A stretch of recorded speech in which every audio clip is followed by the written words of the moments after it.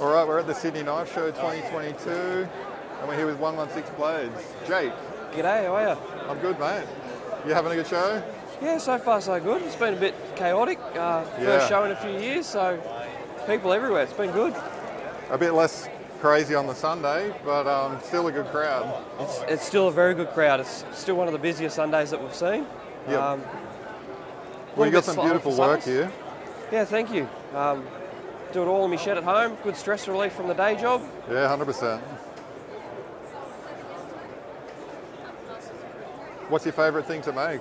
So for me, doing these um, root to forge kitchen knives is my my bread and butter. I've got a lot of them forged sitting at home on the bench, not Yep. many finished.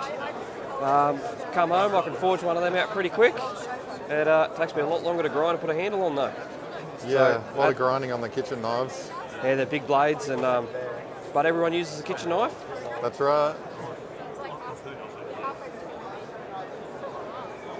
Not like one of those hunting knives, you just put a Scandi grind on it and call it done. Call it done, rough and ready. All right, well, thanks for your time, mate. Um, appreciate you talking to me. This is beautiful stuff. All right, thank you. Yeah, I'll talk to you again. Cheers.